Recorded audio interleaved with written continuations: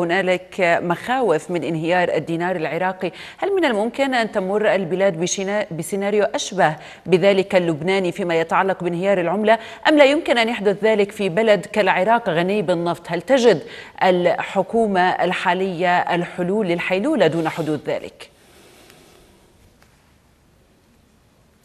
لا المقارنة يعني مجرد كلام إعلامي ليس له أساس من الصحة. المقارنة بين الانهيار الذي حدث في لبنان والوضع في العراق شيء غير مقبول يعني.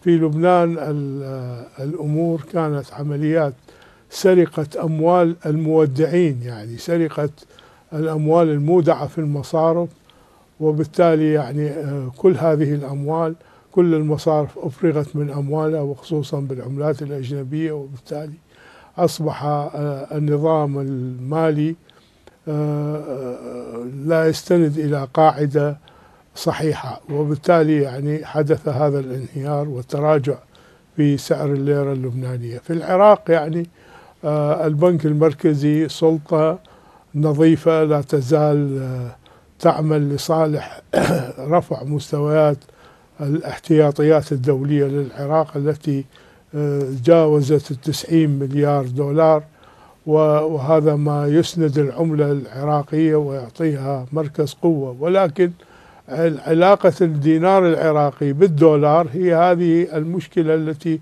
قد آه، يتصور البعض أنها ستذهب بالدينار إلى ما ذهبت إليه الليرة اللبنانية. على العكس من ذلك الدينار لا يزال دينار قوي.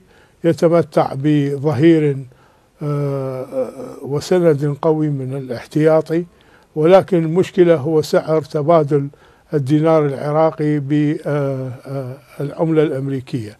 العملة الأمريكية الآن شحت في الأسواق بسبب انخفاض مبيعات نافذة بيع وشراء العملة من الحوالات.